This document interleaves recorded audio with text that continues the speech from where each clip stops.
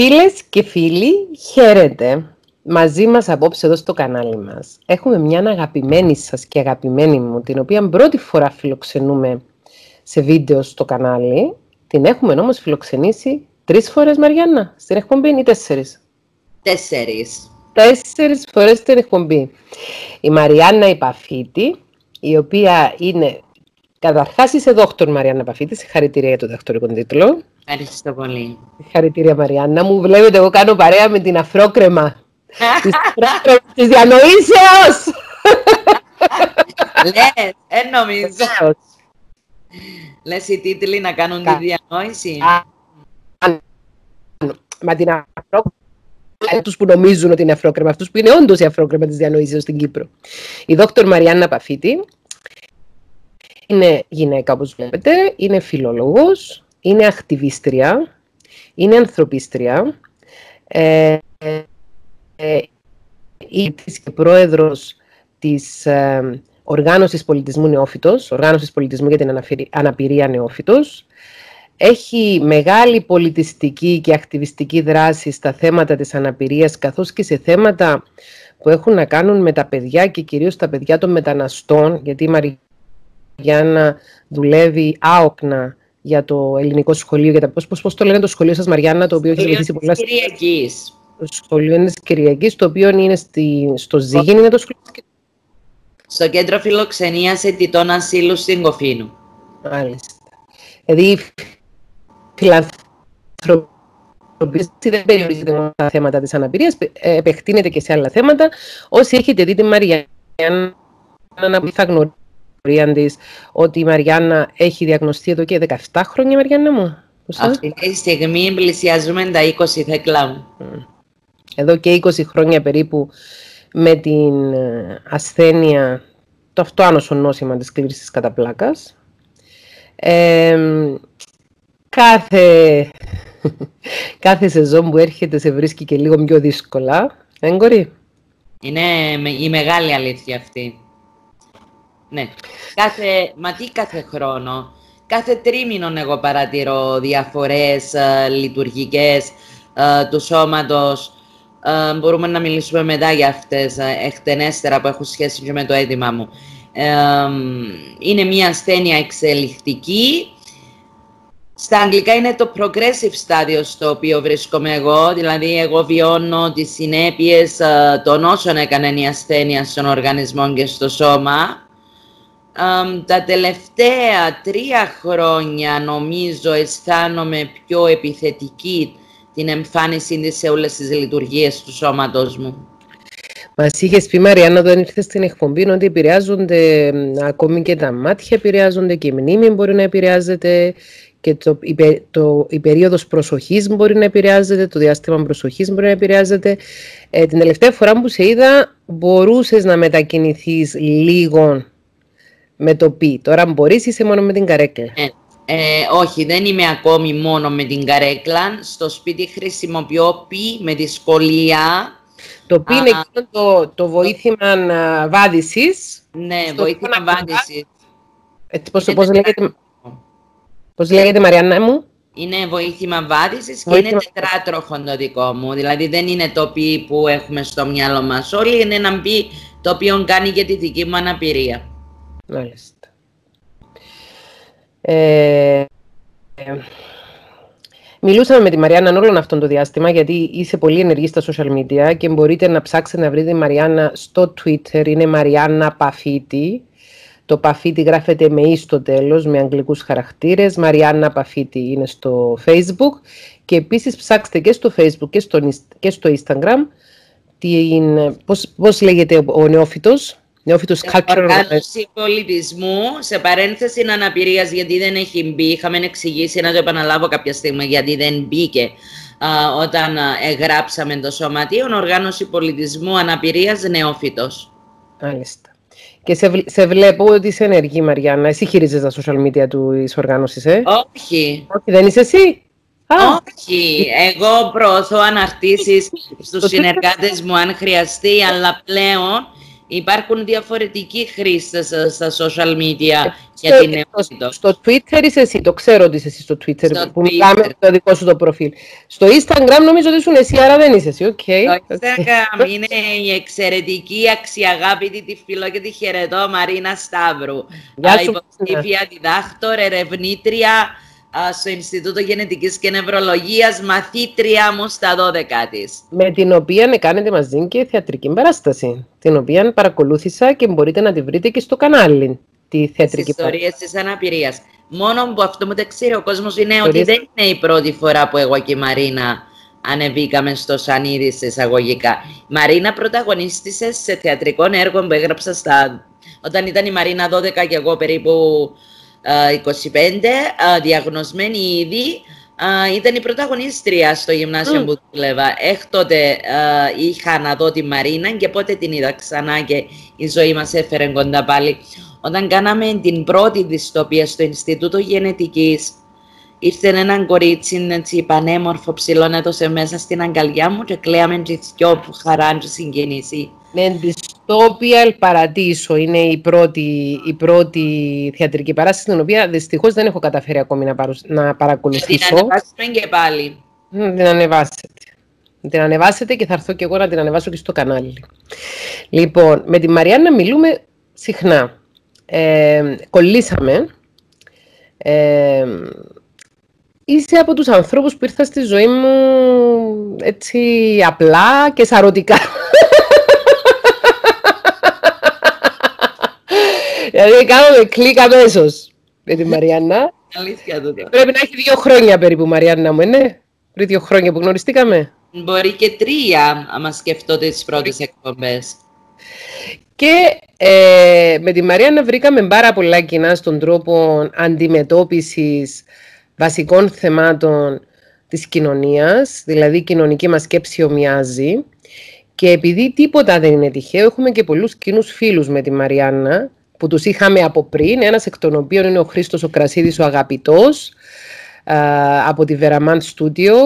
Το Χρήστο, το Χρήστο επίσης τον είχα σε φιλοξενήσει και στην εκπομπή και σε προηγούμενες εκπομπές, γιατί και ο Χρήστος είναι ακτιβιστής, α, είναι στο CY Checkpoint, είναι στη, στην ομάδα, α, πώς λέγεται η ομάδα τους για να την πω σωστά, ε, ε, ε, Θα σκεφάσω αυτή τη στιγμή και αυτόν οφείλεται στην κούρασή μου που δεν μπορώ να ανακαλέσω ονόματα. όχι στην κούραση, όχι στη σκλήρηση, στην κούραση. Ναι.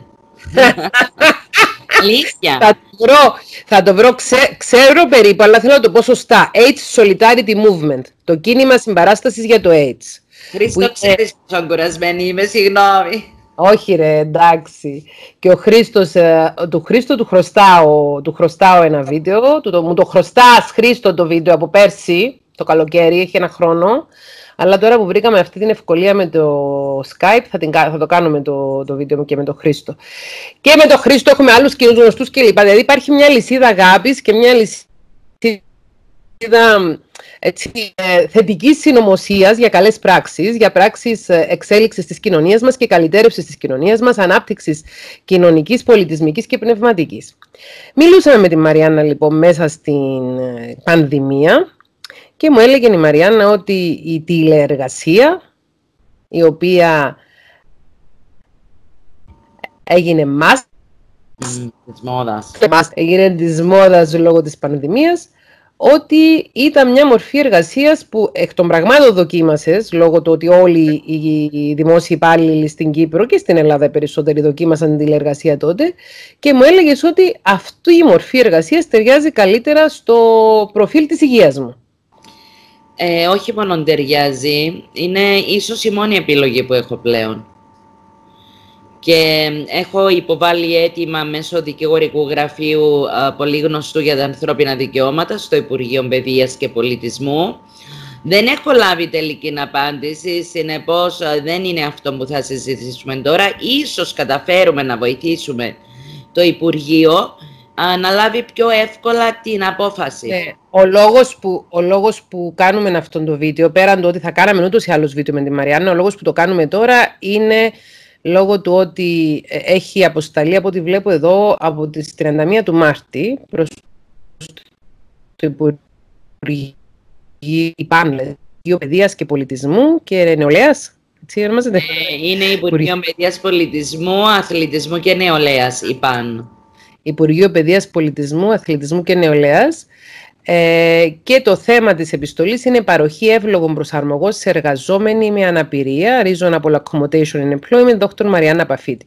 Και το δικηγορικό γραφείο έχει θέσει με μια πολυπληθή επιστολή, η οποία είναι πάνω από 4.000 λέξεις. Δεν θα διαβάσω τώρα, δεν έχει νόημα να διαβάσουμε την επιστολή αυτή καθ' αυτή. Την έχω διαβάσει προηγουμένως.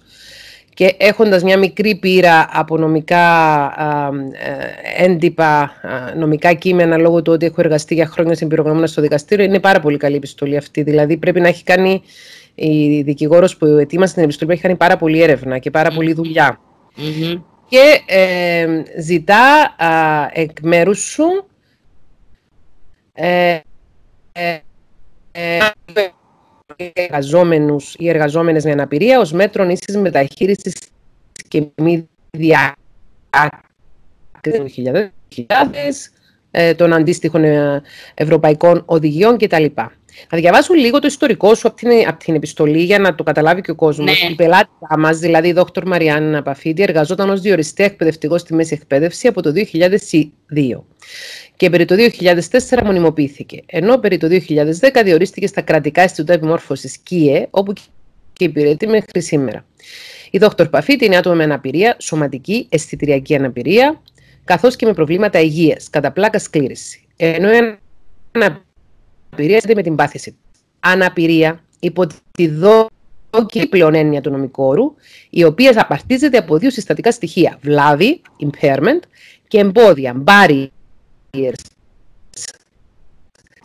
Στην ίση άρθρο 1, 8, τρίτη παράγραφος του 2011.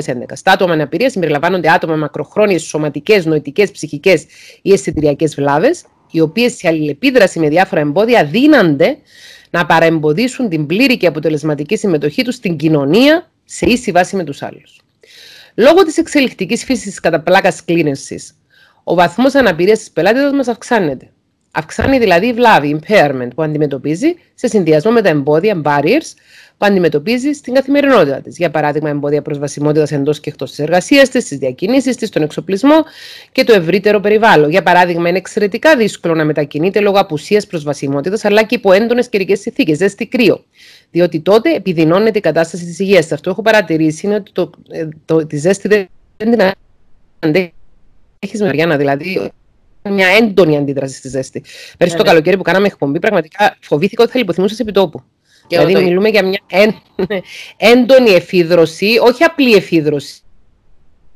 Δηλαδή, ε, ήταν φανερό ότι ο οργανισμός σου δεν άντεχε τη θερμοκρασία που ήταν 30 βαθμούς μέσα. Σκέψου τώρα να μπεις και στο αυτοκίνητο και να οδηγήσεις, μα να οδηγήσεις, να, να, να, σε πάρει κάποιος. Πλέον δεν μπορείς να οδηγήσεις, δεν είναι; Ε, Ω το περίπτερο και με σύνοδο, ναι. Με σύνοδο. Υπό προϋποθέσεις. Οι προϋποθέσεις αυτές αφορούν ότι η διάβια μου λόγω της κόπωσης της ασθένειας εκείνη τη στιγμή είναι σε καλή κατάσταση και μπορώ να ανταποκριθώ. ότι το πόδι το δεξί το οποίο είναι αυτό που χειρίζεται τα πατήδια του αυτοκινήτου είναι σε θέση να το κάνει προς το παρόν το δεξί. Α, δεν έχεις χειροκίνητο αυτοκίνητο. Όχι, το δεξί είναι σε θέση είναι αυτό με τον αυτοκίνητό μου, το αριστερό δεν είναι. Αλλά δεν είναι αυτό το θέμα, δεν είναι αν θα πάω τρία λεπτά α, στο χώρο εργασίας, δεν είναι για αυτόν τον λόγο που α, είναι το αίτημα. Δηλαδή υπάρχει έναν άλλο πλαίσιο το οποίο θέλω να εξηγήσω στον κόσμο και να καταλάβει γιατί, έχουμε, γιατί έχω αυτόν το αίτημα. Θέλεις να συνεχίσω την επιστολή ή να μιλήσεις εσύ; Ό,τι θέλεις εσύ. Αντιμετωπίζει επίσης σημαντική ταλαιπωρία και κούραση κάθε φορά που χρειάζεται να μπει σε αυτοκίνητο και να μεταβεί στην Ασία της, όπου χρειάζονται πολλά για να καταστεί αυτή πραγματικά προσβάσιμη και άνετη, δεδομένης της αναπηρίας και της κατάστασης της υγείας της. Τον περισσότερο καιρό η πελάτηδα μας χρησιμοποιεί τροχοκάθεσμα. Μεταξύ των απαιτήσεων της, προκειμένου να δύναται να ασκεί τα δικαιώματα της όπως κάθε άνθρωπος, περιλαμβανομένου του δικαιώματος στην εργασία και την αυτόνομη διαβίωση, είναι η ύπαρξη προσβάσιμου δομημένου περιβάλλοντος, προσβάσιμου εξοπλισμού, για παράδειγμα κατάλληλη υποστηρικτική τεχνολογία και προσβάσιμων υπηρεσιών καθώς και προσωπική βοήθεια. Personal assistance. assistance είναι στα αγγλικά οι όροι γιατί αναφέρονται στις ευρωπαϊκές οδηγίες. Για σκοπούς εξυπηρέτησης της καθημερινότητας της και της υποβοήθησης της σε ζητήματα λεπτή κοινωνικότητας. Για παράδειγμα, για να τρώει, να πίνει, να χρησιμοποιεί μαχαιροπύρουνα. Επίσης, αναγκαίε είναι οι πλήρως προσβάσιμες υποδομές σε χώρους υγιεινής, όπου να μπορεί να έχει εύκολη και γρήγορη πρόσβαση. Εδώ θα πούμε ότι δυστυχώς ένα από τα ένα από τα συμπτώματα της ε, σκλήρωσης κατά πλάκας, μια από τις βλάβες που σου έχει προκαλέσει η σκλήρωση κατά πλάκας είναι η ακράτεια. Βέβαια. Και δεν θα ξεχάσω, όχι μόνο εγώ, αλλά και άλλοι φίλοι σου, την ταλαιπωρία που βίωσες πριν δύο χρόνια που ήταν αυτό. Ναι, πριν δύο χρόνια με το αεροπλάνο και την αεροσυνοδό. Ναι. Είχε ταξιδέψει στην Αθήνα η Μαριάννα. Την ώρα που έκατσε το αεροπλάνο στον αερολιμένα, ζήτησε να πέσει στην τουαλέτα, δεν την άφηνε ο αεροσυνοδός και είχε έτσι ένα πολύ δύσκολο περιστατικό ακράτειας, ε, το οποίο ήταν και προσβολή της αξιοπρέπειας ο τρόπος με τον οποίο έγινε, η, η άρνηση που είχε γίνει ε, προς εσένα στο να χρησιμοποιήσεις την τουαλέτα μου είναι ένα ανθρώπινο δικαίωμα. Και θυμάμαι ότι τότε είχαμε, κάνει, είχαμε υπογράψει και κάποιο petition Petition δεν έκαναμε. Έγινε κάτι με... Είχαμε κάνει μια καμπάνια στα social media, Μαριάννα. Ναι. Θυμάμαι ότι το είχαμε, είχαμε ποστάρει, είχαμε ναι, μιλήσει ναι, για αυτό το θέμα. Καμπάνια έγινε. Έγινε μια καμπάνια για awareness, για ευαισθητοποίηση. Mm-hmm. Ένα άνθρωπος με κατά πλάκα σου λέει ότι πρέπει οπωσδήποτε τώρα να πω στην τουαλέτα, θα, θα, θα, τον, θα τον, δεν θα τον παρεμποδίσεις από του να πάει. Επιπρόσθετα, σε ό,τι αφορά τα προβλήματα υγείας της, λόγω της πάθησης της, αντιμετωπίζει αρκετές ημέρες πόνο και είναι ευάλωτη σε ιώσεις, με μερικές μέρες να χρειάζεται να βρίσκεται στο κρεβάτι ή και υποπεριορισμό. Η κατάσταση της υγείας της είναι συχνά απρόβλεπτη με καλές εντό και κακές μέρες, με τις πρώτες να επιτρέπουν περισσότερη κινητικότητα και μετακινήσεις, ενώ οι κακές μέρες μπορεί να είναι τέτοιες ώστε να αποκλείεται τελείως η πιθανότητα να μεταβεί σωματικά στην εργασία της. Με την, με την εξέλιξη της εξόδου με την εξέλιξή της, έξοδος της Δόκτωρ Παφίτη από το σπίτι έχει καταστεί όλο ένα δυσκολότερη, εκτός και όταν όπου φιλικά της πρόσωπα ενεργούν ως προσωπική βοηθή, γνωστή και ως συνοδή στην Κύπρο, αφού δεν λαμβάνει κάποιο βοήθημα στοχευμένη οικονομική έμπραχτη υποστήριξη από το κράτος σε ό,τι αφορά το κόστος των διακινήσεων της και την καθημερινή της βοήθεια κατά τις διακινήσεις της. Επίσης, είναι καλά γνωστό ότι και το περιβάλλον στην εργασία της δρόμη πεζοδρόμη είναι προσβάσιμο, αφού τα βήματα που γίνονται σε αυτή την κατεύθυνση είναι σε πολύ πρώιμο στάδιο. Για παράδειγμα, σχέδια δράσης κοινωνικής ενσωμάτωση υλοποιηθεί. Προκύπτουν επίσης ζητήματα προσβασιμότητας και προσαρμοσμένων υπηρεσιών εντός του χώρου εργασίας της, μέτρων δηλαδή τα οποία να εξυπηρετούν το σύνολο των απαιτήσεων της όσα αναφέρονται πιο πάνω, αλλά και μέτρα υποστήριξης, για παράδειγμα βοηθός, τεχνολογία και μέτρα προσαρμογής και τροποποίησης του περιβάλλοντος κλπ. κλπ. Και αυτό που ζητάς. Ε, θα το διαβάσω όλο. Αυτό που ζητάς ε, και ε, για λόγους πάνω η πελάτητα μας αναγκάστηκε να λάβει παρατεταμένα άδεια ασθενείας και να απουσιάζει λόγω προβλημάτων υγείας που αντιμετώπιζε από την εργασία της. Ανεξάρτητα από τα πιο πάνω, η πελάτητα μας παραμένει μια εξαιρετικά προσοντούχα και ικανή εκπαιδευτικός και ακαδημαϊκός, η οποία δύναται να έχει πολύτιμη συνεισφορά σε πολλά πεδία γνώσεων. Σε καμιά περίπτωση δεν πρόκειται περί ανίκανου προσώπου να εργαστεί φτάνει οι συνθήκες, τα καθήκοντα εργασίας της και η υποστήριξή της να ανταποκρίνονται στις οσάνω απαιτήσεις που συνδέονται με την αναπηρία και τα δικαιώματα της σε ίση συμμετοχή. Γι' αυτό τον λόγο κιόλας δεν είναι επιδίωξή τη η πρόορια αφιπηρέτηση. Ούτε και ασπάζεται με οποιοδήποτε τρόπο αναχρονιστικές πεπιθήσεις ότι τα άτομα με αναπηρία, οι άνθρωποι με αναπηρία. Ε, δεν διόρθωσες την δικαιώση. Αγία μου, ότι οι άνθρωποι με αναπηρία. Εσύ μου το μάθε αυτό, να μιλάω τώρα για άνθρωποι. Ότι οι άνθρωποι με Ναι, εντάξει, ήταν πολύ μεγάλη. Οι άνθρωποι με αναπηρία θα πρέπει να μείνουν απαθοί, να μείνουν, μένουν απαθείς και να αρκούνται σε επιδοματικές πολιτικές. Εσύ είσαι εναντίον αυτού του πράγματος. Δεν κάτσε σπίτι να παίρνεις επίδομα. Όχι, θες να εργαστείς. Του αντίον είναι και τα δικαιώματα της, η πελάτητα μας είναι και επιθυμεί να παραμείνει μία γυναίκα με αναπηρία, ικανή να συμμετέχει και να ασκεί τα δικαιώματα της ισότιμα με άλλους πολίτες, με εξαιρετικές ικανότητες και δυνατότητες επαγγελματισμού νοωμένο ότι θα της παρασχεθούν κατάλληλες εύλογες προσαρμογές και γέννη τα εμπόδια που παραβάλλονται σε αυτή την ίση συμμετοχή της έρονται. Η υπόλοιπη επιστολή έχει αρκετά νομικά και νομικιστικά στοιχεία μέσα. Στην ουσία όμως, εσύ αυτό που ζητάς είναι. Να εργάζομαι από το σπίτι μέσω τηλεεργασίας. Δηλαδή από τη στιγμή που έχεις, από τη στιγμή που έχει δοκιμαστεί η τηλεεργασία, για δυόμιση-τρει μήνες πόσο ήταν η τηλεεργασία, ε, Δύο μήνες, δυόμιση, πόσο ναι, ήταν; Πόσο. Ναι. Δύο μήνες. Και έχει δοκιμαστεί μαζικά σε όλα τα επίπεδα και της παιδείας αλλά και της δημοσίας υπηρεσίας αλλά και σε ιδιωτικές επιχειρήσεις έχουν, έχουν ε, δοκιμάσει την τηλεεργασία. Εν τω μεταξύ, Μαριάννα, και εγώ αυτό που κάνω τηλεεργασία είναι. Δηλαδή δεν είναι κάτι που. Δεν ζητάς κάτι το παράδοξο ή κάτι που δεν συμβαίνει. Ζητάς το, το κάτι παντελώς φυσιολογικό και το οποίο φαντάζομαι και σε άλλες χώρες της Ευρωπαϊκής Ενώσης ισχύει ήδη η τηλεργασία. Δεν έχω ελέγξει κατά πόσο υπάρχουν πραγματικά περιστατικά ανθρώπων με αναπηρία που εργάζομαι, αλλά εφόσον υπάρχει ευρωπαϊκή εντολή και την έχουμε υπογράψει και εμείς, υποθέτω ότι σε χώρες ευρωπαϊκές θα έχει κατορθωθεί να εργάζονται οι άνθρωποι με αναπηρία μέσω α, τηλεργασίας. Και αν δεν έχει κατορθωθεί, γιατί να μην είμαστε η πρώτη χώρα που θα το κατορθώσουμε. Γιατί να μην, γιατί να μην πρωτοτυπήσουμε σε κάτι, να μην πρωτοπορήσουμε σε κάτι. Ακριβώς.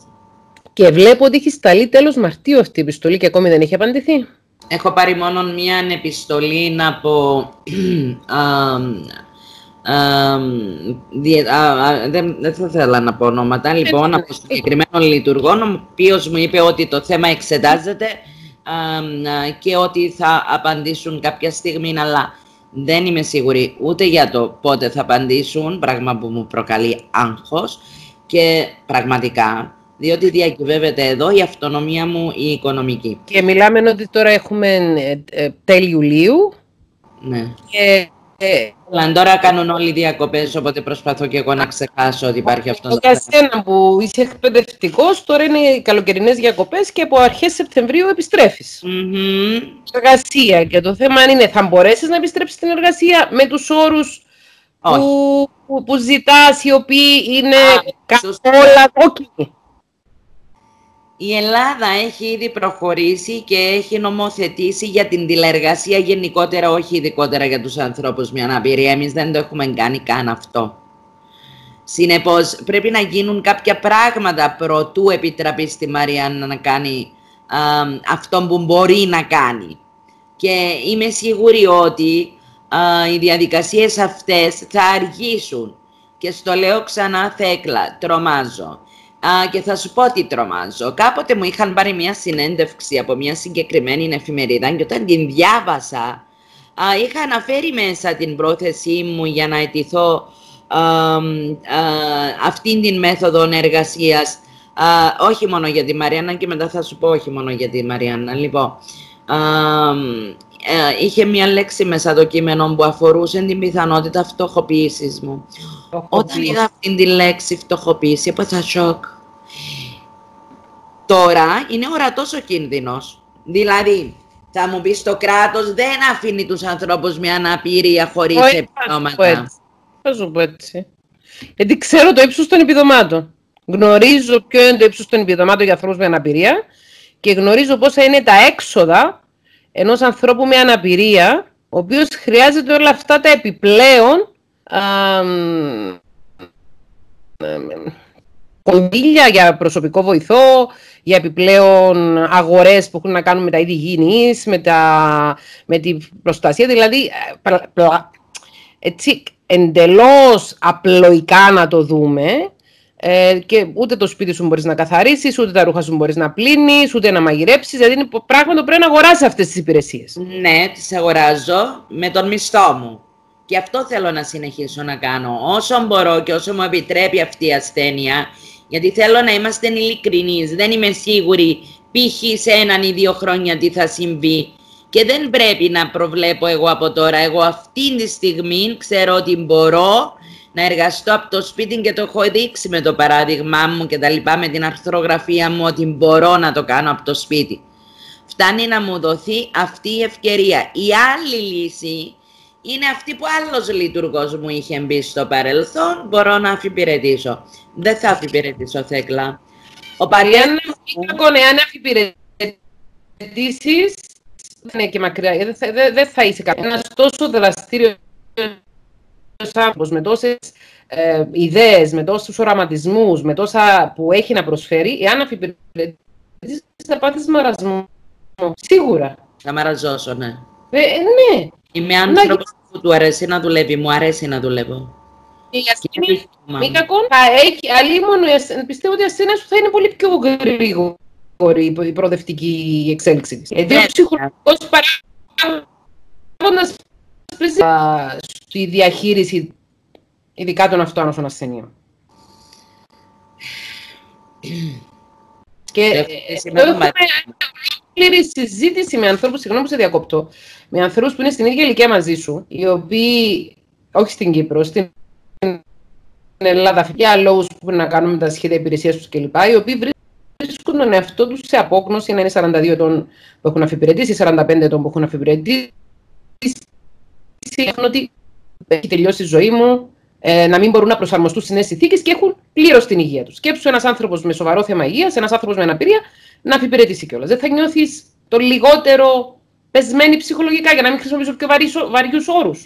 Πιο βαριούς να χρησιμοποιήσεις, γιατί αυτόν θα συμβεί και το έχω ζήσει με τον πατέρα μου.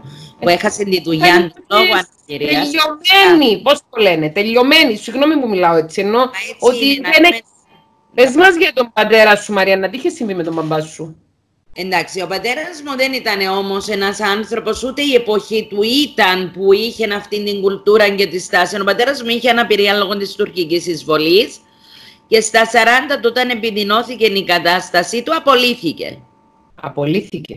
Δεν, δεν είχαμε δικαιώματα τότε. τότε τώρα έχουμε. Τι ήταν ο μπαμπάς σου τότε; Ήταν ξυλουργός επιπλοποιός. Ήταν ο μάστρος, επειδή δεν μπορούσε ουσιαστικά να ασκήσει το επάγγελμα λόγω της αναπηρίας, αλλά επειδή ασκούσε το πριν και είχε εμπειρία πριν την εισβολή, επειδή δούλευε από μωρό παιδί, ήταν ο εμπιστάτης.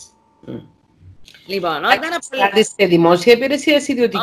Όχι, φυσικά, σε ένα ξυλουργείο. Mm. Λοιπόν, όταν απολύθηκε, εγώ τα έχω ζήσει αυτά. Έχω ζήσει την κατάθλιψη, την χρόνια, έχω ζήσει, έχω δει έναν άνθρωπο όλο δύναμη α, να καταραίει ψυχικά σιγά σιγά και αυτό να έχει αντίκτυπο σε όλες τις υπόλοιπες ε, εκφάνσεις στη ζωή του. Λοιπόν, δεν το θέλω αυτό. Πάντως θεωρώ ότι για κάποιους ανθρώπους, αν όχι για όλους, για τους περισσότερους από εμάς, ειδικά αν έχουμε επιλέξει και μια εργασία που είναι, μας δίνει νόημα, είναι, έχει νόημα για μας αυτή η εργασία, γιατί εσύ ξέρω πόσο πολύ αγαπάς τον άνθρωπο και τις ανθρωπιστικές σπουδές που, που έχεις επιλέξει, ε, ρωτώντας μας ποιο είναι το νόημα της ζωής σου, είναι και το λειτουργήμα που έχω επιλέξει. Μου δίνει νόημα. Όταν ξυπνάω το πρωί και ξέρω ότι θα πάω να προσφέρω αυτά που μπορώ να προσφέρω μέσω της θέσης μου και μέσω των σπουδών μου και μέσω των οραμάτων μου και επειδή ε, το, το βασικό σου, το, το πρώτο σου πτυχίο είναι της φιλολογίας. Ναι. Οι φιλόλογοι είναι κατεξοχήν ανθρωπιστικοί δάσκαλοι στην εκπαίδευση. Διδάσκουν τα θέματα της ανθρωπιστικής παιδείας.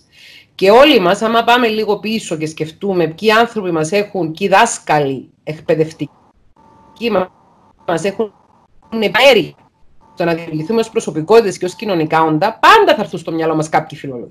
Δηλαδή, είναι πολύ σημαντικός ο ρόλος των φιλολόγων.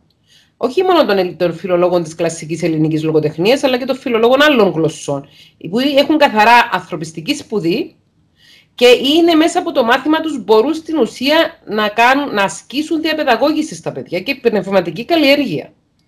Είναι πολύ σημαντικό, είναι, είναι ε, λειτουργήμα, δεν είναι απλώς επάγγελμα. Γενικά το, το να είσαι εκπαιδευτικός είναι λειτουργήμα, αλλά ειδικά στα ανθρωπιστικά μαθήματα είναι κέριος ο ρόλος στη διαμόρφωση των μυαλών και των σκέψεων, ακόμη και της καρδιάς των νέων ανθρώπων. Mm. Δηλαδή ως κοινωνία που επενδύουμε; Αν δεν επενδύσουμε στην ανθρωπιστική παιδεία των νέων μελών μας. Ε, έχω την τιμή να έχω μαθητές που αυτή τη στιγμή έχω ζήσει συγκλονιστικά πράγματα, λοιπόν, αυτή τη στιγμή δεν μπορώ να εισέλθω σε τάξη και να διδάξω και για τους λόγους μπορούμε να το συζητήσουμε μετά.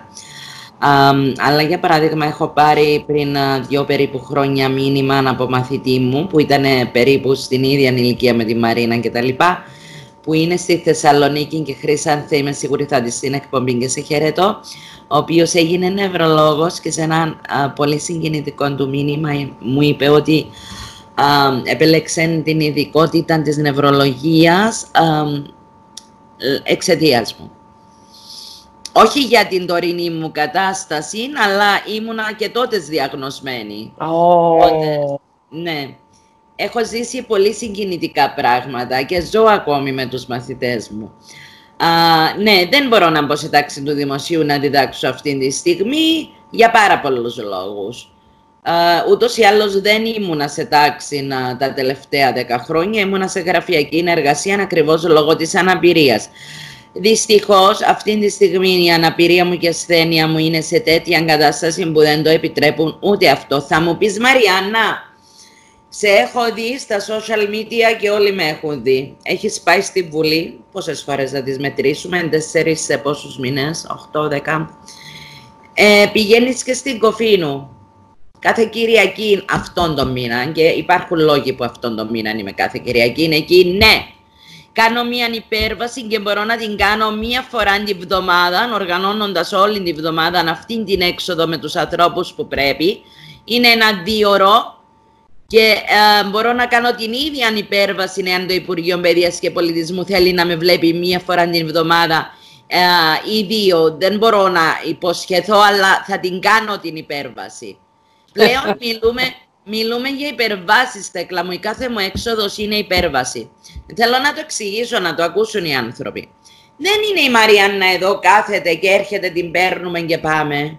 Για να βγει από το σπίτι η Μαριάννα πρέπει να υπάρξει μια προετοιμασία η οποία πιθανότατα ε, όπως τώρα ας πούμε για να βγω στην εκπομπή. Πόσες ώρες προετοιμαζόσουν για αυτό το, το, τη, τη βιντεοκλήση μου κάνουμε Μαριάννα; Επειδή ακόμη επιμένω στο να αντιθώ, στο να φτιαχτώ, στο να κάνω τον ντους μου μόνη μου και δεν έχω άνθρωπο στο σπίτι να ζει μαζί μου και ο Θεός να με βοηθήσει να παραμείνω αυτόνομη με αυτό αυτές τις δυσκολίες, δεν έχω πρόβλημα, είμαι μεγαλωμένη με τις δυσκολίες,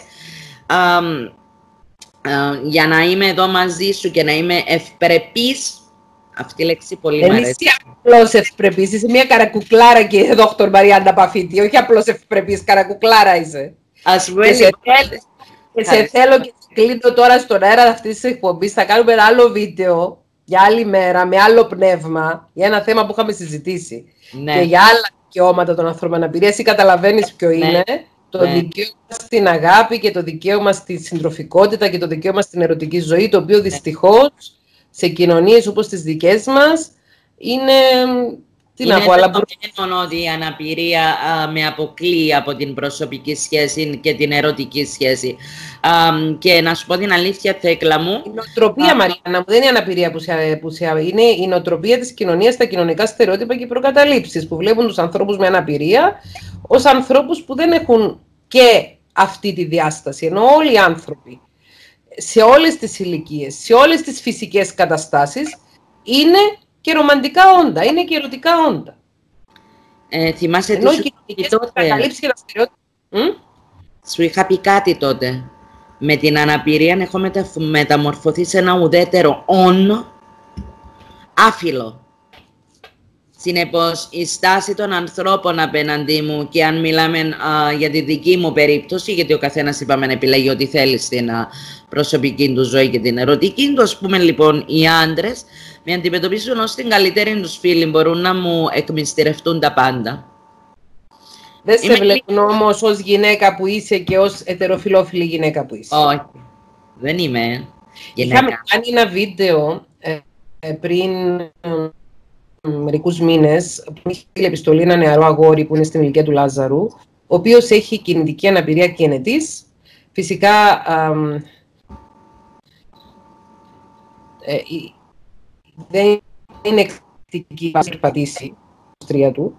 Όμως το θέμα του ήταν παρόμοιο με το δικό σου, ότι είμαι ένας νέος άνδρας, είμαι 23 ετών, έχω συναισθήματα, έχω ψυχή, έχω επιθυμίες, είμαι άνθρωπος και όμως δεν με αντιμετωπίζουν οι κοπέλες, γιατί πρόκειται για ετεροφιλόφιλο νεαρό άνδρα, δεν με αντιμετωπίζουν οι κοπέλες ως ένα αγόρι που θα το δουν ίσως και ερωτικά, με αντιμετωπίζουν σαν το φιλαράκι τους, όπως πεις και εσύ, ένα ουδέτερο άφιλον, ότι...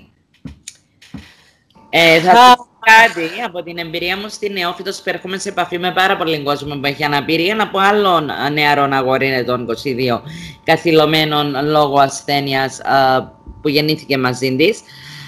και μου είπε όχι μόνο με αντιμετωπίζουν ως φίλων, αλλά ξέρεις μου λέει το πιο πονετικό είναι όταν γυρίζουν και μου λένε όταν εκφράσω την ερωτική μου επιθυμία, την επιθυμία μου τη ρομαντική για σχέση, μου λένε θα βρεις έναν καλό κορίτσι κάποτε. Mm. Αυτό δεν είναι Κυπριακό, η αλήθεια είναι. Τουλάχιστον σε μένα μου το έρχονται. Θεωρούν δεδομένο ότι...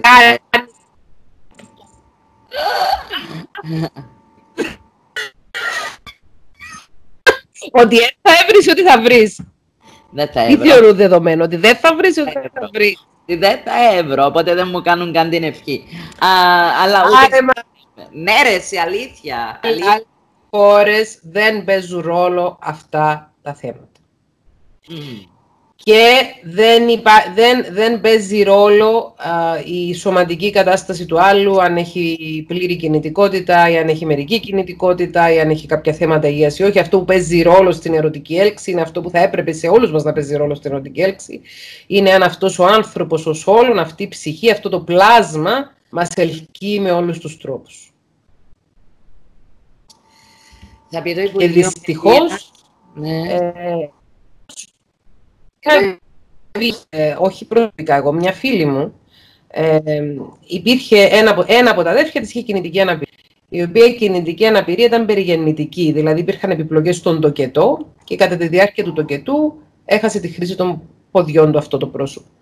Ξέρεις ότι, στην ηλικία μου η κοπέλα αυτή, ξέρεις ότι ήρθες γνώση μου, περιέπεσες γνώση μου και δεν της είπα τίποτα φυσικά, ότι κοινός μας γνωστός ενδιαφερόταν για αυτήν ως κοπέλα και όταν άκουσε ότι στην οικογένεια υπάρχει πρόσωπο με αναπηρία, απομακρύνθηκε, δεν τη φλέρταρε, δεν δημιούργησε σχέση μαζί της γιατί λέει να την πάρω εγώ τούτην, να κάνω κοπελούδι ανάπηρο; Ναι, ναι, αυτό, ναι. Δεν ξαναμίλησα ουδεπόποτε στον άνθρωπο εκείνο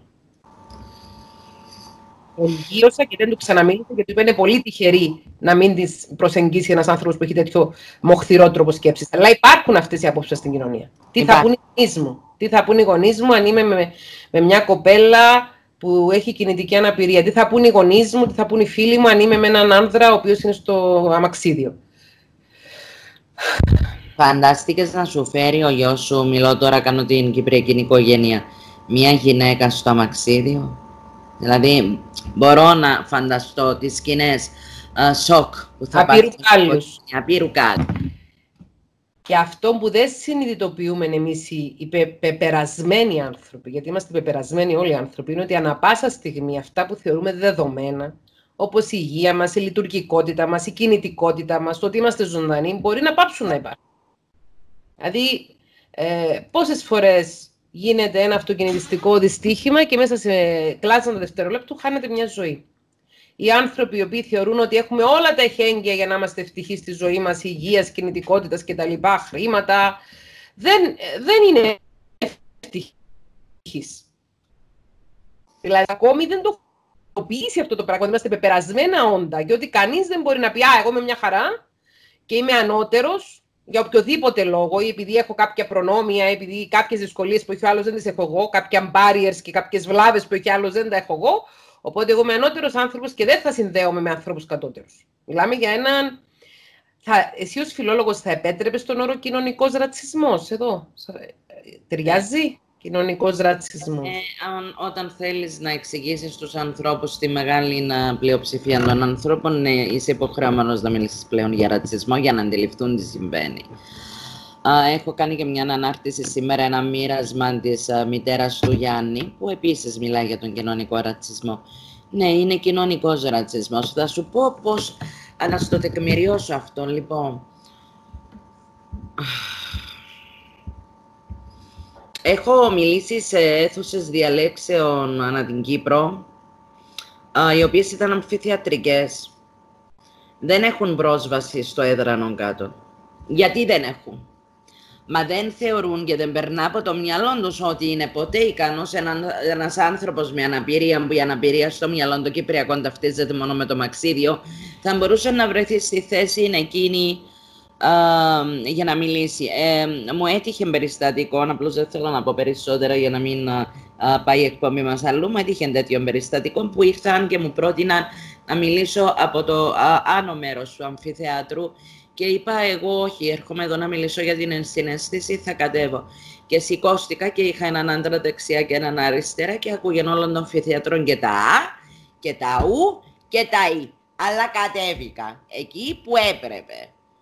Δηλαδή αυτό ε, το μήνυμα που περνάει μια τέτοια κατάσταση είναι ότι οι άνθρωποι με αναπηρία δεν είναι ικανοί ούτε για αυτόν, ούτε για εκείνο, ούτε, ούτε για πολλά πράγματα. Όμως οι άνθρωποι με αναπηρία είναι ικανοί.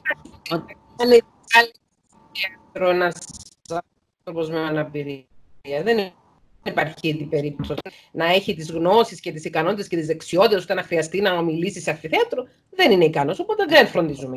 Οπότε δεν τους περιλαμβάνουμε ούτε καν στην αρχιτεκτονική των κτηρίων διότι μέσα στο μυαλό μας έχουμε συγκεκριμένα στερεότυπα και λειτουργούμε με αυτά, αλλά οι εποχές άλλαξαν. Το αίτημα το δικό μου αυτή τη στιγμή θεωρώ ότι είναι αίτημα της εποχής.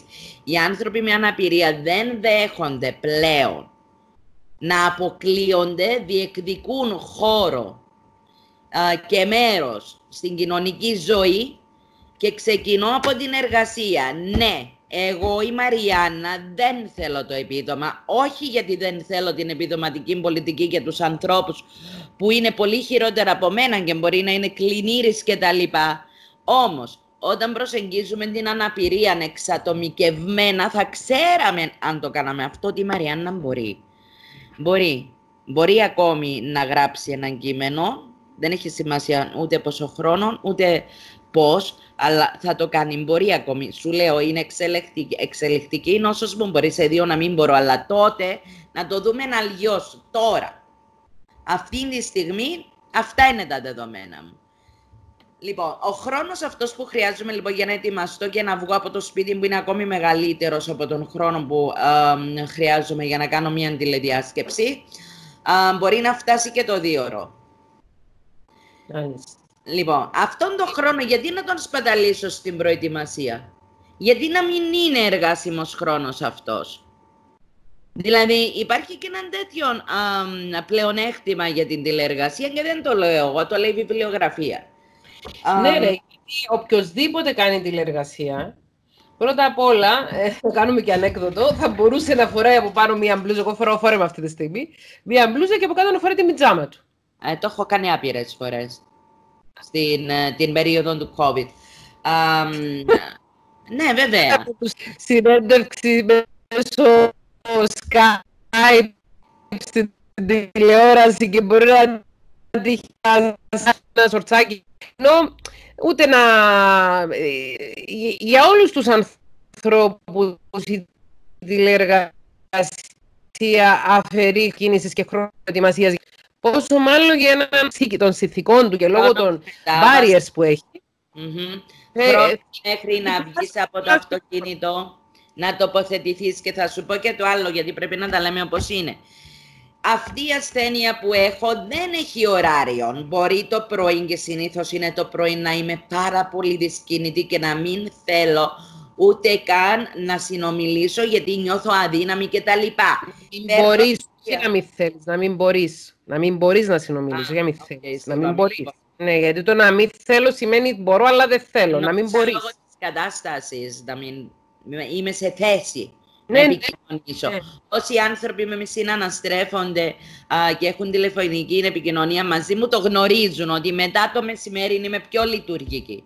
Ναι, αυτό ναι, και εγώ το γνωρίζω. Αυτό σου λέω είναι ότι δεν θες, απλώς το βάζεις πιο. Ε, επικοινωνείς πιο αργά με τους ανθρώπους, γιατί τότε σωματικά ίσως ζεσταίνεται το σώμα, ναι, ναι, ναι, ζεσταίνεται ναι, ναι, το σύστημα. Με την... που ξυπνώ είναι σε λίθαργο και μέχρι να το ξυπνήσω χρειάζεται μια διαδικασία. Όσο ξυπνάει δηλαδή. Το ίδιο και με το πνεύμα. Επαναλαμβάνω ότι η κόπωση της ασθένειας δεν είναι η ίδια με την κούραση που νιώθουμε άνθρωποι χωρίς εμές. Είναι έναν ιδιαίτερο πράγμα το φατίκ της πολλαπλής σκλήρυνσης. Και παίρνω χάπι για να το χειριστώ αυτή τη στιγμή, θέκλα μου. Δηλαδή παίρνω σωρία χαπιών αυτή τη στιγμή για να χειριστώ τις παράπλευρες α, καταστάσεις της ασθένειας. Λοιπόν, όμως τα καταφέρνω, όπως τα κατάφερα τώρα αυτή τη στιγμή και συναντιόμαστε εδώ α, διαδικτυακά, τα καταφέρνω και επαναλαμβάνω προς το παρόν, διότι δεν ξέρουμε α, για το μέλλον. Θέλω να πω κάτι εδώ που το θεωρώ πολύ σημαντικό και είναι το παράπονο μου από πολλούς ανθρώπους που συναναστράφηκα έστω διαδικτυακά τα τελευταία δύο χρόνια. Ένας άνθρωπος με εξελιχτική νόσο που έχει και συνείδηση και επίγνωση του τι εστί και έχει παρατηρήσει τον εαυτό του, ζει καθημερινά, θα το πω έτσι όπως είναι, με μία κατάσταση που μοιάζει με το πένθος. Δηλαδή, καλείσαι να υπερβείς τις δυσκολίες της ασθένειας, αλλά καλείσαι να υπερβείς και αυτό είναι το πιο δύσκολο. Αυτόν το πένθος. Κατά ακρίβεια σήμερα είχα μια καινούρια εμπειρία που αφορά την νόσο και ο Θεός να βάλει το χέρι του να μην είναι μόνιμο. Να μην είναι μόνιμο χαρακτηριστικό, θα ενημερώσει τον γιατρό. Ε, είχα υποσχεθεί στη Μαλβίνα ότι δεν θα το έλεγα. Ήξερε η Μαλβίνα που με συνόδευε σήμερα ότι θα το θα μιλήσουμε και μου είπε αυτό. Το πεις, να μην, το, μην το πεις Μαριάννα, μην το πεις. Εντάξει, μην το πεις. Ευχόμαστε να μην, να μην επαναληφθεί και να μην παραμείνει μόνη. Και εγώ το ίδιο. Αλλά υπάρχουν άνθρωποι που το ζουν και αυτό. Γιατί να μην το πω, νομίζω επειδή έχεις αντιληφθεί, αν θα βάλεις αυτό το κομμάτι α, στην εκπομπή, πρέπει να το πω. Γιατί να μην το πω; Είμαι Πες μόνος το. εγώ, νομίζεις. Επειδή υποσχέθηκες, κόρη, ξέρω εγώ, με υποσχέθηκες. Η θεωρεί ότι λέω πράγματα πολύ περισσότερο από όσο αντέχει η κοινωνία. Η Μαλβίνα, επειδή σε αγαπάει πάρα πολύ και δεν θέλει να, να στενοχωρήσει. Ναι, δεν θέλει να στεν... Η Μαλβίνα είναι μια πολύ στενή φίλη και βοηθός της Μαριάννας. Την έχω γνωρίσει και εγώ τη Μαλβίνα. Ναι, η Μαλβίνα είναι από προστατε... προστατευτικότητα που στο λέει. Δεν στο λέει από κακία. Θέλει να... Δεν θέλει να σε στενοχωρήσει κανείς. Ναι.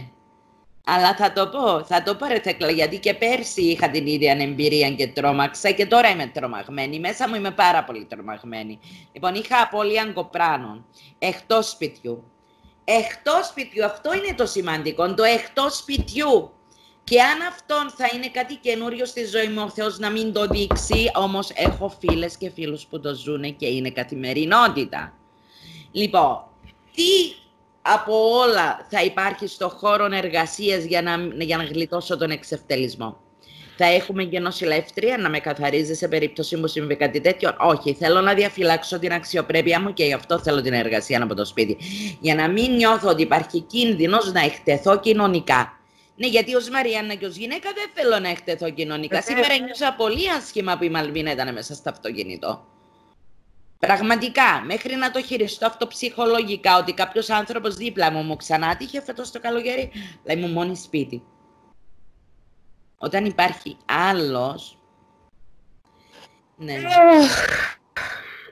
Νομίζω ότι όλοι μπορούν να, μπορούν να φέρουν μπορεί να τύχει και σε έναν άνθρωπο που δεν έχει θέματα υγείας, όταν έχει μια, ένα θέμα με κάποια διαταραχή στομαχική, μπορεί να τύχει η απώλεια κοπράν, ενώ όταν κάποιος έχει, ε, πώς το λένε, ευκυλιότητα, λέμε στην, όταν έχει διάρειες κάποιος, μπορεί να του τύχει και εάν μας έχει τύχει έστω και μία φορά, μπορούμε να φανταστούμε τι τρομακτικό πράγμα είναι και πόσο, πόσο θα προσβληθεί, ίσως να βρίσκεσαι μπροστά σε άλλους ανθρώπους. Είναι καθαρά θέμα Πολύ άσχημο. Αυτός είναι ο φόβος. Μυρίζει. Ναι. Αυτός είναι ο φόβος των ανθρώπων που δεν θέλουν να καταπέσουν στο κρεβάτι. Γενικά όλο μου λέει δεν θέλω να καταπέσω στο κρεβάτι. Στην ουσία αυτός είναι ο φόβος. Να μην χρειαστεί κάποιος να με καθαρίζει από αυτό. Έχω δηλαδή δεν μιλούμε ανοιχτά. Καλά και το λες. Καλά κάνεις και το λες. Γιατί το, μιλώντας και με μεγαλύτερους ανθρώπους σε ηλικία που δεν είναι θέμα να εμπειρία, είναι θέμα γερατιών, λένε θα ήθελα να μην το ζήσω αυτό το πράγμα, να λερώνομαι και να πρέπει να με καθαρίσει κάποιος άλλος άνθρωπος, ή το παιδί μου, είτε ή άλλοι δύο χρόνια μαζί μου να το αντιληφθούν.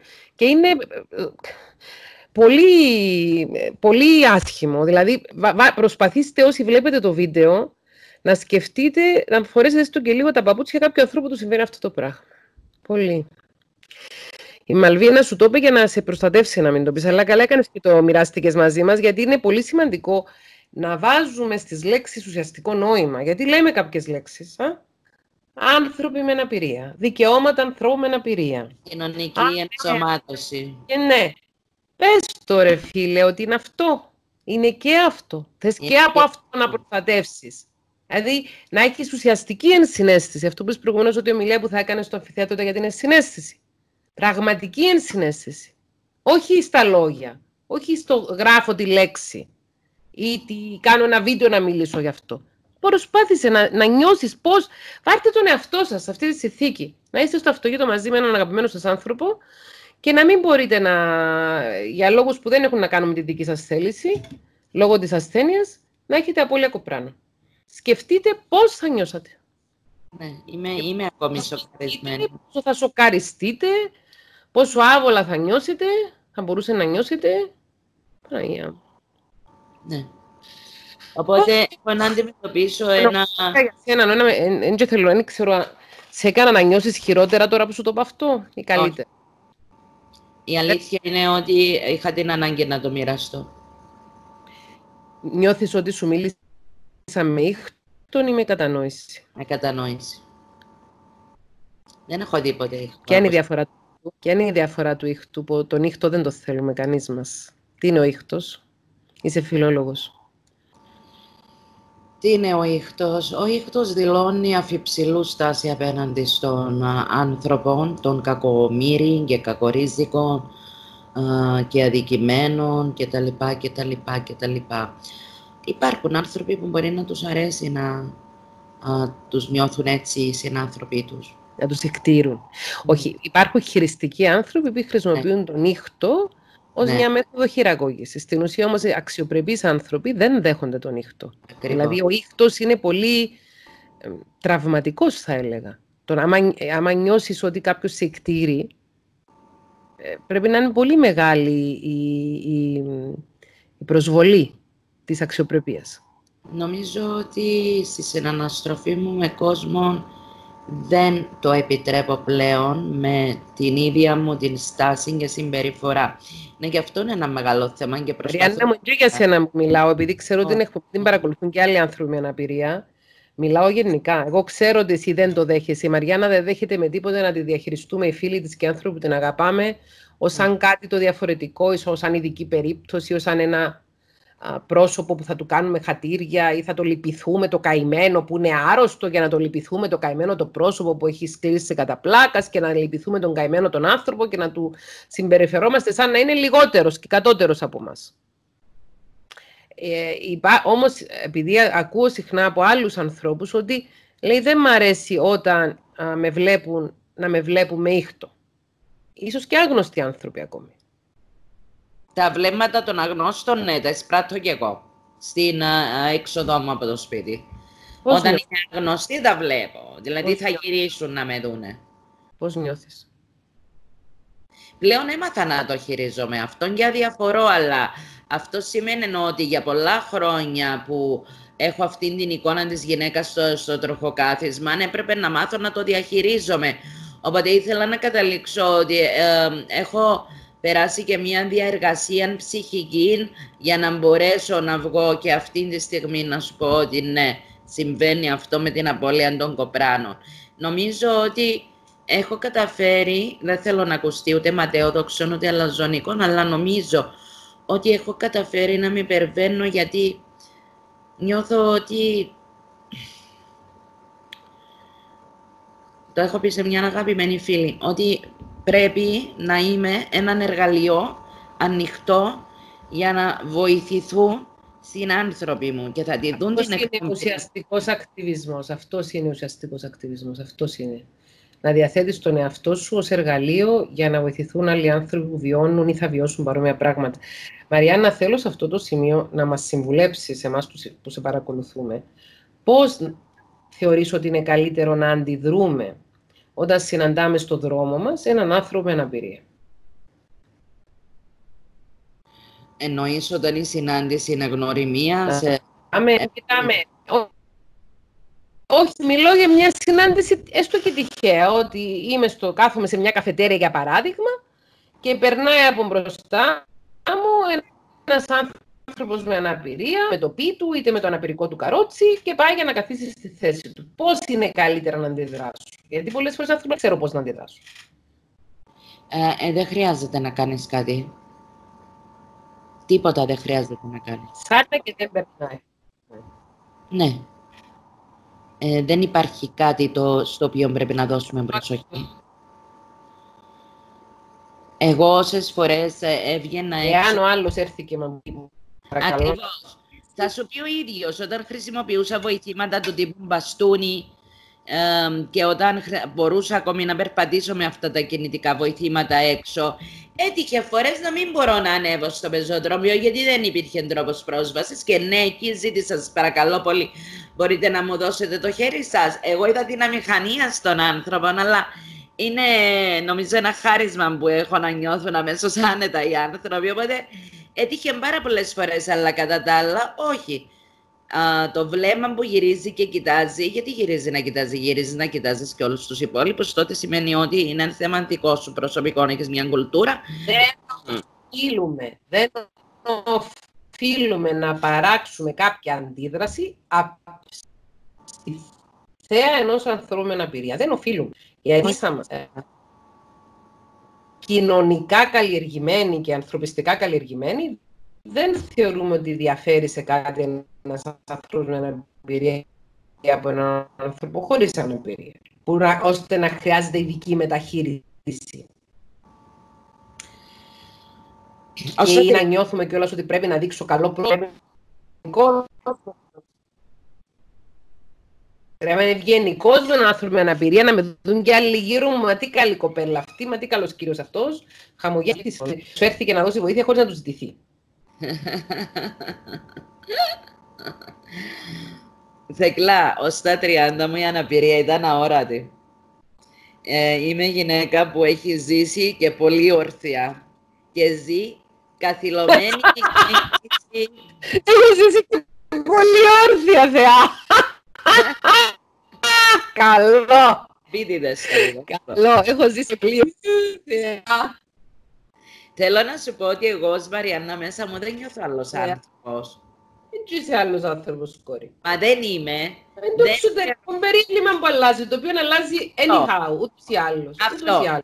Ολονών το περίβλημα θα αλλάξει. Ναι, το σαρκείο μας είναι το όχημα μας, που στο οποίο, το οποίο μας κουβαλά. Κάποια, κάποια σαρκία είναι speed, είναι τούρπο, κάποια είναι πιο αργά, αλλά πάλι, πάλι ένα όχημα. Ναι, η ουσία είναι αυτό που είναι μέσα, αυτός που κουβαλάει. Ο άνθρωπος που κουβαλάει, η ψυχή που κουβαλάει μέσα, το πλάσμα που είναι από μέσα. Κορία, αγαπώ σε πάρα πολύ, ξέρεις το, ναι. Ε. Λέω σου το και αυτός κάμερας όμως παραδέχτω. Εκλαλές μου το, ναι. Δεν το λέω ειδικά τώρα όμως on camera. Και εγώ όμως σε αγαπώ και ξέρεις και τους λόγους που σε θαυμάζω, ναι. Ε... αμοιβαίως και ξέρεις πω πολλές φορές είτε διαβάζοντας κείμενά σου, γιατί ξέρεις ότι σε διαβάζω πάντοτε, πω θα το διαβάζω, είτε διαβάζοντας κείμενά σου, είτε μιλώντας μαζί σου, ε, σκέφτομαι είναι ένας δρόμος δύσκολος, αλλά δεν είναι τυχαία που τον περνάει αυτή η κοπέλα. Ή μάλλον της πάει κάνει. Είναι πιάνει. Ότι καλά, όχι ότι καλά έπαθες και έχεις την αναπηρία. Καταλαβαίνω τι θέλεις. Έχεις καταφέρει τα λεμόνια που σου στη ζωή να τα κάνεις λεμονάδα. Δηλαδή ναι. αυτό τόσο ε, δύσκολο και βαρύ ε, στοιχείο. Δηλαδή, δεν, το, μιλάμε, ας πούμε, πάντοτε ρεαλιστικά. Κανείς δεν θα ευχόταν να είχε κάποια ασθένεια ή κάποια αναπηρία. Είναι μια δύσκολη συνθήκη. Είναι μια δύσκολη συνθήκη, αλλά θα σου πω ε, τι λέω εγώ. Δεν έχω αναρωτηθεί ποτέ γιατί εγώ. Ασχέτως αν ξέρω τους λόγους και τις συνθήκες που το προκάλεσαν αυτό. Αλλά δεν έχω ρωτήσει ποτέ, α, δεν έχω κάνει ποτέ ούτε στη μοναξιά μου, ούτε στις πιο δύσκολες καταστάσεις αυτής της ασθένειας, γιατί εγώ. Ε, το μόνο που λέω είναι γιατί όχι εγώ; Γιατί όχι εγώ, μάλιστα, αυτό είναι. Θα μπορούσε να συμβεί εγώ, δηλαδή. γιατί όχι σε μένα. Γιατί όχι το σε μένα. ίδιο. Γιατί όχι σε μένα; Δηλαδή τόσοι άλλοι άνθρωποι, εκατομμύρια στον κόσμο. Άρα, αφού έτυχε αυτό, ασχέτως αν υπάρχουν επιστημονικές εξήγησεις και τα λοιπά, οφείλω να το Μας διαχειριστώ. πέρα. Shit happens. Shit Ναι. happens. Ταιριάζει. Ταιριάζει.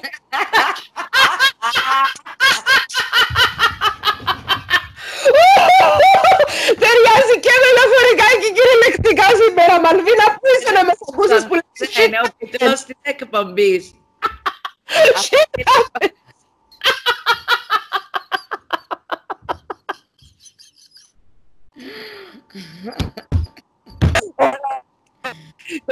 Το λέει, ξέ- Βλέπεις τα βίντεο, ξέρεις ότι είναι η φράση που χρησιμοποιώ. Shit happens. Ε, δεν μπορούσε να συμβεί στον καθένα, γιατί όχι σε μένα. Και Για- σκέφτομαι, ξέ, μερικές φορές σε θαυμάζω και σε ζηλεύω με την καλή έννοια, με την έννοια ότι σκέφτομαι ότι εγώ δεν θα τα κατάφερνα τόσο καλά όσο τα καταφέρνεις εσύ. Με αυτή την έννοια, ξαμώνουμε πάνω σου, Κατάλαβες τους ανθρώπους που αγαπάμε, τους θαυμάζουμε και τους τους βλέπουμε και σαν τη διαστολή με εμάς. Και λέω, εγώ θα τα κατάφερνα τόσο καλά.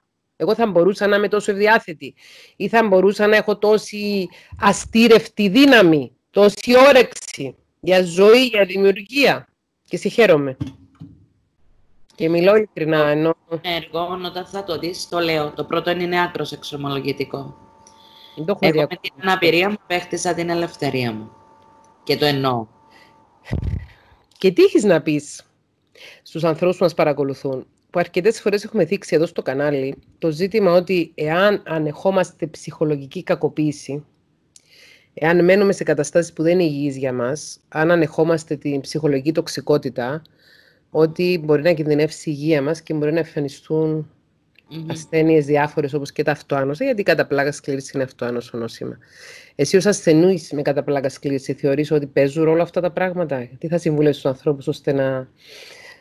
Αν θεωρείς, τώρα θα ήθελα να πεις την προσωπική σου ιστορία, αν εσύ πιστεύεις ότι παίζουν ρόλο αυτές τις συνθήκες στο να δημιουργηθεί... να μιλήσει. Είπα ότι εγώ γνωρίζω μέσα μου βαθιά α, και τους λόγους που α, ήρθε αυτή η ασθένεια στη ζωή μου, εκτός αν υπάρχει αποδειχθεί ότι υπάρχει κληρονομικότητα. Αυτό δεν μπορώ να το ξέρω, δεν είμαι επιστήμονας. Α, Πάλι για- και να υπάρχει κληρονομικότητα, Μαριά, να υπάρχει κληρονομική προδιάθεση, γενετική προδιάθεση που χρειάζεται ένα triggering event, χρειάζεται να συμβούν κάποια τραυματικά γεγονότα ψυχικά ή σωματικά για να βγει στην επιφάνεια. Δηλαδή και η κληρονομικότητα να Πούμε υπάρχει. λοιπόν ότι την είχα, όπως έχουμε κληρονομική προδιάθεση και έχει για δύο άλλα πράγματα. Δηλαδή για να περάσει από το γονότυπο στο φαινότυπο θέλει μια διαδικασία που μπορεί να είναι τραυματική και ψυχική διαδικασία. Ναι, οπότε εγώ την α, βίωνα τότε, οπότε α, ήταν ακραία η ψυχολογική μου κατάσταση. Θα μπορούσα να είχα προβεί και σε α, ακραία τολμήματα. Α, θεωρώ ότι αυτό το καμπανάκι που είχε μετά από όλη αυτή την ψυχική ταλαιπωρία, σε μένα είχε με άλλον τρόπο. Νομίζω ότι μου έδωσε μια δεύτερη ευκαιρία για να ζήσω. Ερωτικών είπες, απελευθέρωση. Νιώθω ότι είμαι ελεύθερη μετά που ασθένησα. Ναι. Γιατί η ελευθερία δεν βρίσκεται στο, στη- στο σώμα, βρίσκεται στο μυαλό, βρίσκεται στη, στο Ναι. πνεύμα, δεν είναι στο σώμα. η Ε, ουσιαστική έχω, ελευθερία. έχω, εμ, δεν, έχω, δεν με βαραίνουν εμ, ε, τα βάρη της κοινο, των ανθρώπων, τα συνηθισμένα, τα σύνηθι βάρη.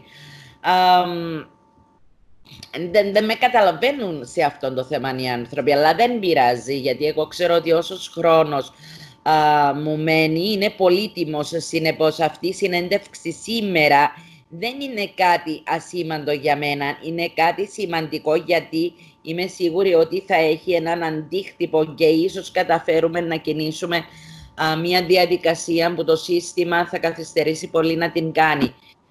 Έχω μια αμ, αίσθηση του χρόνου, δεν θέλω να ακουστεί ούτε μακάβριο, ούτε ε, μαύρο, αλλά έχω μια αίσθηση καθώς με παρακολουθώ, παρακολουθώ το σώμα μου, ότι πιθανότατα, και αυτό ε, πραγματικά δεν είναι μαύρο, είναι ρεαλιστικό.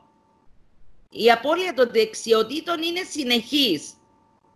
Ότι κάποια στιγμή όμως... Τελειώνει ο χρόνος. Ότι τελειώνει ο χρόνος. Ότι αυτά που μπορώ να κάνω τώρα μπορεί να είναι αύριο. Δεν το, Μμ. καταλαβαίνουν, δεν το καταλαβαίνουν αυτόν οι άνθρωποι α, που μπορεί να συνεπάρξουν για κάποιο Ριάννα. λόγο. μου. αυτό ισχύει για όλους μας. Σήμερα ξέρω ότι μπορώ να πράξω το α, το β, το γ. Αύριο ξέρω αν θα ζω. Αύριο ξέρω αν θα έχω την ικανότητα και τη δυνατότητα. Το για λέμε μας... αυτό. Το λέμε όλοι. Αλλά δεν το συνειδητοποιούμε. Ότι αυτό που είπα προηγουμένως, ότι είμαστε πεπερασμένα όντα. Μπράβο. Δύο πράγματα είναι αυτό για τον καθένα μας. Ότι γεννήθηκαμε, ότι γεννηθήκαμε και θα πεθάνουμε. Δεν έχει τίποτε άλλο πιο σίγουρο από τη γέννηση μας και από τον θάνατο που δεν ξέρουμε κιόλας πότε, πότε θα είναι ο θάνατος του καθενός. Και το, το carpe diem, η έκφραση αυτή η λατινική, το άδραξε τη μέρα, αυτό το νόημα έχει ότι κανείς δεν σου υπόσχεται ότι έχεις κι άλλο χρόνο, κι άλλο χρόνο, κι άλλο χρόνο για να αναβάλεις αυτά που μπορείς να πράξεις, τις δράσεις, στην ουσία για να καλυτερεύσεις τη, τη ζωή σου και τη ζωή των άλλων ανθρώπων γύρω σου. Ναι, αλλά αν δεν είχα αυτό το καμπανάκι που ζω μαζί του καθημερινά, νυχθημερών, ίσως να μπορούσα κι εγώ να πω, μπορώ να αναβάλω αυτό το πράγμα που θέλω να ξεκινήσει μετά από έξι μήνες. Δεν τολμώ να κάνω έτσι σκέψη για το μετά από έξι μήνες ή τρεις. Μου φαίνεται χρόνος ε, τρομακτικός. Όχι τώρα. Αυτό λοιπόν δεν το αντιλαμβάνω.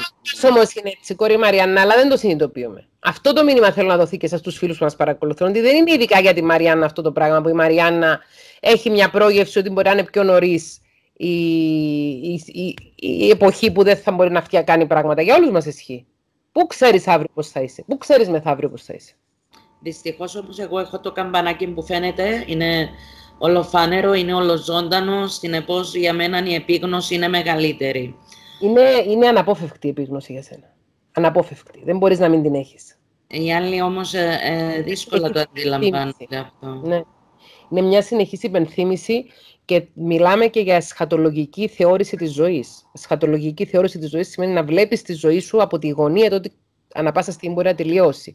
Και αυτή η εσχατολογική θεώρηση της ζωής, η οποία βρίσκεται και στη θρησκεία, αλλά και στη φιλοσοφία κυρίως, η εσχατολογική θεώρηση της ζωής, συνιστά ένα από τα πολύ σημαντικά εργαλεία για απόκτηση ευτυχίας. Δηλαδή, βλέπεις την κάθε σου μέρα σαν να είναι η τελευταία και βλέπεις ότι ε, ε, αυτό που καλούμε να κάνω δεν είναι τεράστιο, δεν είναι να ζήσω μια ζωή τέλεια. Αυτό που καλούμε να κάνω είναι να κάνω αυτή τη μέρα όσο καλύτερη γίνεται, να κάνω αυτή τη μέρα όσο πιο όμορφη γίνεται, να κάνω αυτή τη μέρα όσο πιο όμορφη, όσο πιο όρημη, όσο πιο ωραία γίνεται. Να είμαι σήμερα καλά.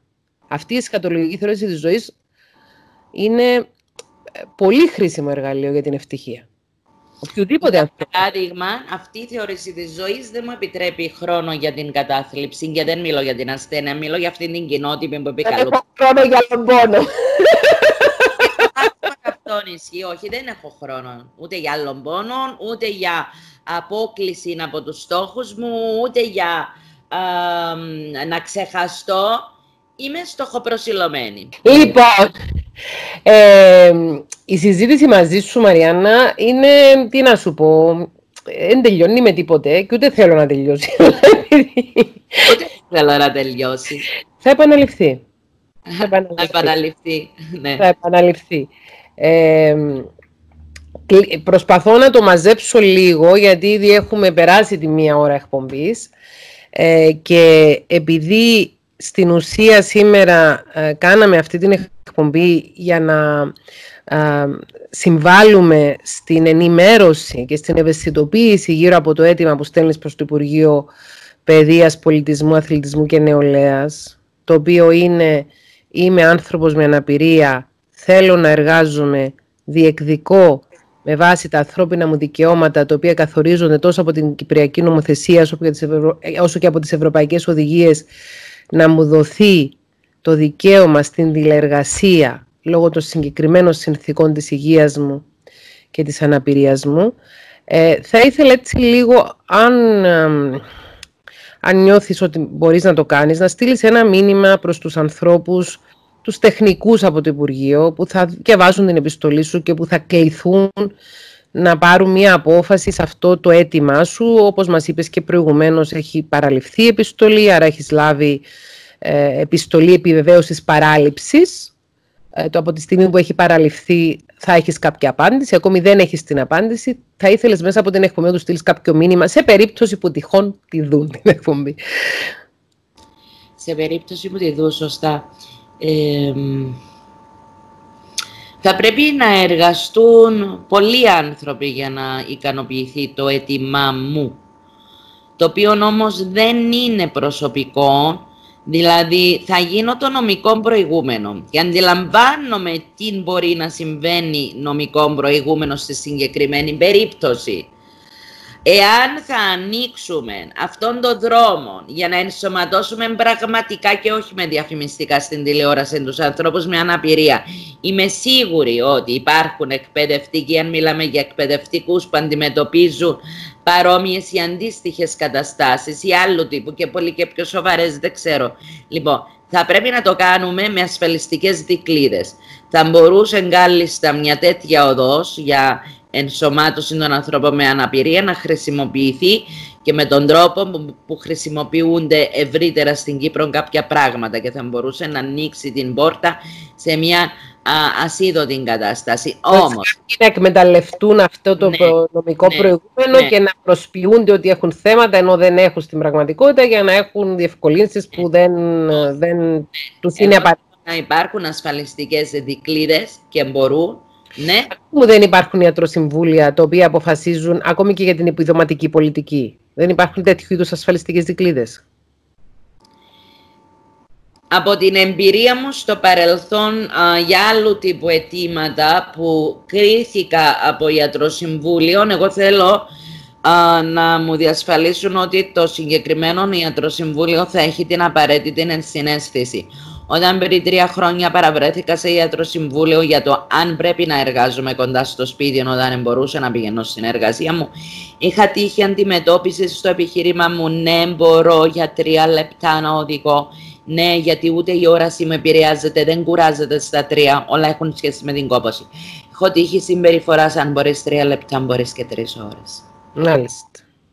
Μάλιστα. Εάν είναι να βιώσω κάτι αντίστοιχο, δηλαδή θέλω το κράτος να με προφυλάξει από οποιαδήποτε διαδικασία θα θίξει ή θα πλήξει την αξιοπρέπειά μου, να το πω πιο απλά, να με πληγώσει. Πληγώνομαι ήδη αρκετά με αυτό που ζω, δεν χρειάζεται να με πληγώνουν και οι άνθρωποι. Οπότε η Κύπρος μπορεί να κάνει το τόλμημα ως κράτος μικρό, το επαναλαμβάνω, θα το λέω στο τέλος είναι προβλήματα που εμείς μπορούμε να τα λύσουμε πολύ πιο εύκολα λόγω του ότι είμαστε μικρός τόπος. Η Κύπρος μπορεί να γίνει, α, το είπες και εσύ πριν, πρωτοστάτης και να δώσει στην Ευρώπη και έναν παράδειγμα αν δεν υπάρχει τέτοιο.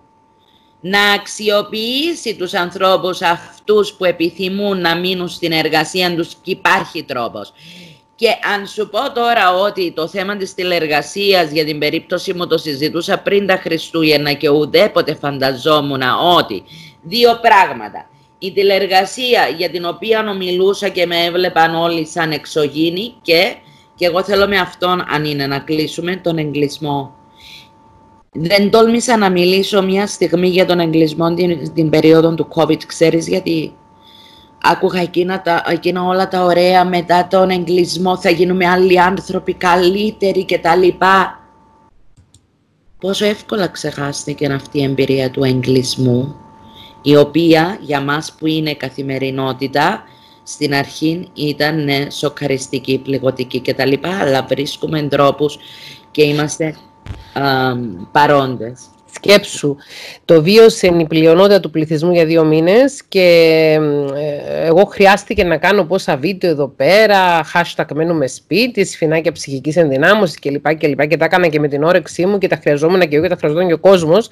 Αλλά αν μπορέσουμε να, να, να εξασκήσουμε λίγο την συνέστηση και να φορέσουμε λίγο τα παπούτσια των ανθρώπων που βρίσκονται σε εγκλισμό λόγω ασθενειών και αναπηριών για χρόνια, γιατί εσύ μιλούσες από πέρσι στην εκπομπή, πρώτου να γνωρίζουμε θα Για τον εγκλισμό, ναι, βέβαια. Τον εγκλισμό, το ναι. θέμα του εγκλισμού. Ναι, και για, και για την αναγκαιότητα ίδρυσης της οργάνωσης πολιτισμού για την ανεπηρία νεόφυτος, που ήταν για να καταπολεμήσει και τον εγκλισμό τρόποντινά όσον αφορά στα, στο κομμάτι της α, δυσκολίας μετάβασης σε χώρους που γίνονται ε, ε, καλλιτεχνικά δρόμενα. Ο, όπου η νεόφυτος, την περίοδο έχουμε έναν event που πλησιάζει, το οποίο θα στείλει ένα μήνυμα ότι δύο άνθρωποι με αναπηρία θα καταδυθούν γιατί θα έχουν των εξοπλισμών θα έχουν τον εκπαιδευτή καταδύσεως που είναι ειδικός για τους ανθρώπους με αναπηρία. Συνεπώς, δίνεις το περιβάλλον που υποστηρίζεις. Το είδα σήμερα. Νομίζω ο Λουκάς ο Φουρλάς ο Ευρωβουλευτής το έχει κάνει. Ο Λουκάς ο Φουρλάς ο Ευρωβουλευτής, φίλος από τα παλιά και αγαπημένος.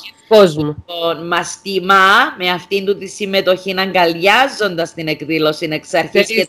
Ο Λουκάς το γνωρίζει δυστυχώς από πρώτο χέρι τι σημαίνει να χάνει ένας άνθρωπος την κινητικότητα του, να χάνει την ανεξαρτησία του, τη σωματική του αυτονομία. Την εργασία του και όσα έζησε εξαιτία αυτού του γεγονότος και όσα δεν θέλω να ζήσω ούτε εγώ.